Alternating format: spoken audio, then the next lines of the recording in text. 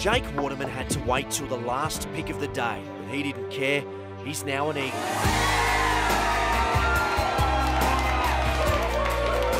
It's pretty surreal, like that doesn't feel real yet. Um, yeah, it's all been a pretty big whirlwind uh, last, last few days sort of leading up to it. And um, yeah, I can't believe it. All I can do is do the best I can, see how it go.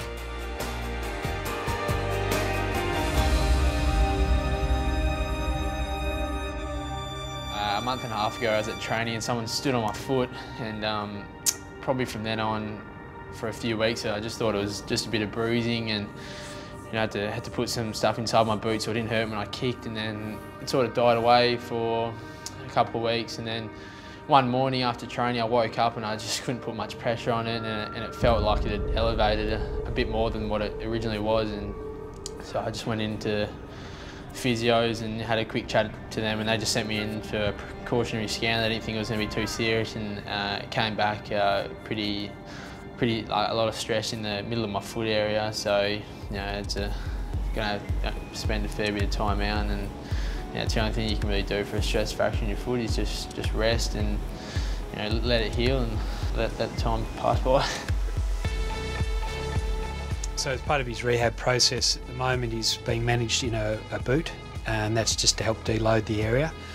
And after that, it's a matter of gradually building up his load to a point where he can return to running and then return to play. He showed some good signs in the pre-season and, and uh, against GWS as well.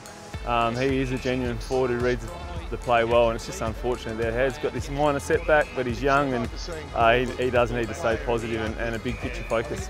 It was pretty annoying watching that round one on the weekend and not being out there. It's the first time I've never been out there for round one of any year. A lot of hard pre-season sessions to sit back and watch the start of the season and do, do even more hard work in the, in the gym and the upper body and you really can't run or anything so you feel a bit excluded from the group but you know if I do it right I could come back sooner than what they, they expect you know, how hard you take your, the rehab is the extent to maybe how quickly you'll come back. So, you know, I put it that way and I just think about, you know, I'm, I'm not out there running and doing all the sessions they are, so I need to make it up by doing my, my rehab and doing my upper body stuff. And, you know, maybe using this time to put on some size and, you know, um, working my, my mobility and stuff like that.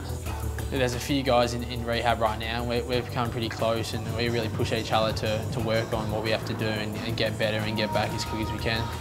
The bike uh, gives me a few nightmares, I'm not going to lie, but the worst thing in the gym is the, is the grinder, this one here on your arms. Oh, with of screaming yeah, it's no fun.